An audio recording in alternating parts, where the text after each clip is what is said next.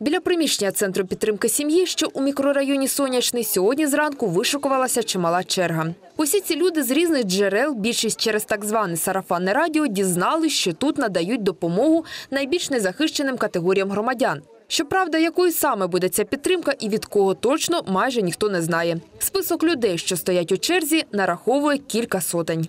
Люди в церкві сказали, якщо інвалід іди, а що йди, що робиш, що треба, от стою, падаю, куди йти не знаю.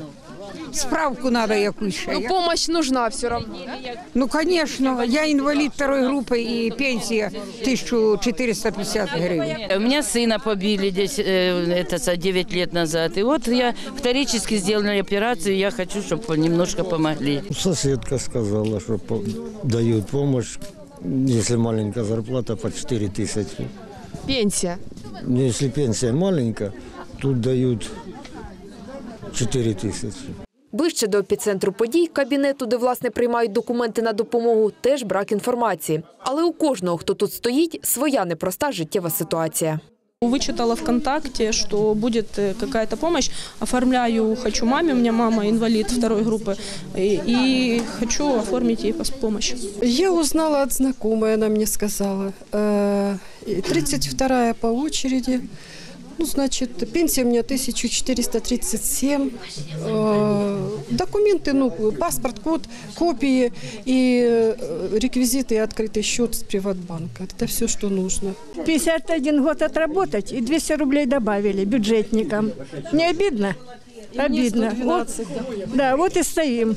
Інформацію про міжнародну допомогу напередодні через соціальні мережі розповсюдила міськрайонна організація Червоного Хреста. Шестеро її волонтерів безперервно приймають документи і допомагають заповнювати анкети. Грошова допомога надається у рамках всесвітньої продовольчої програми ООН і направлена на найбільш нужденних мешканців нашого краю. Сюда входят а, инвалиды первой и второй группы, а, а, третья группа инвалидности с подтверждением справки с пенсионного фонда о размере ми- минимальной пенсии, старички, которые живут сами тоже с минимальным подтверждением пенсии, это все надо подтвердить, матеря-одиночки с официальными документами. И хронически больные, больные люди, то есть ВИЧ, СПИД, туберкулез, гепатит, такие очень серьезные заболевания, вот их именно это, эти спонсоры будут финансировать. Звичайно, більшість людей кинулись за відповідними паперами. Особливо відчули це у пенсійному фонді, адже багато жителів нашого міста і району отримують пенсії нижче двох тисяч. Їм потрібно надати до центру підтримки сім'ї довідку про свій розмір виплат за шість останніх місяців. Справка выдается в течение 5-7 минут. Справились с потоком людей. Вс- И сегодня, конечно, с утра было очень много людей. Порядка 200 справок мы сегодня уже выдали. Документи на оформлення допомоги у центрі підтримки сім'ї прийматимуть до 13 грудня включно. Допомога у рамках цієї програми одноразова і однакова для усіх, хто подасть документи – 4200 гривень. Финансирование будет в течение трех месяцев. Начинается с декабря, потом январь и февраль.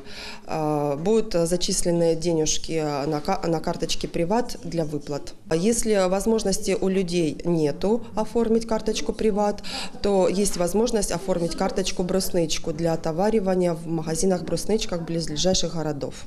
Після 13 грудня зібрані документи оброблятимуть. Міжнародні організатори акції особливу увагу приділятимуть перевірці наданих даних і лише потім визначатимуть, кому саме призначати допомогу. Планується, що отримувати її люди почнуть з кінця грудня.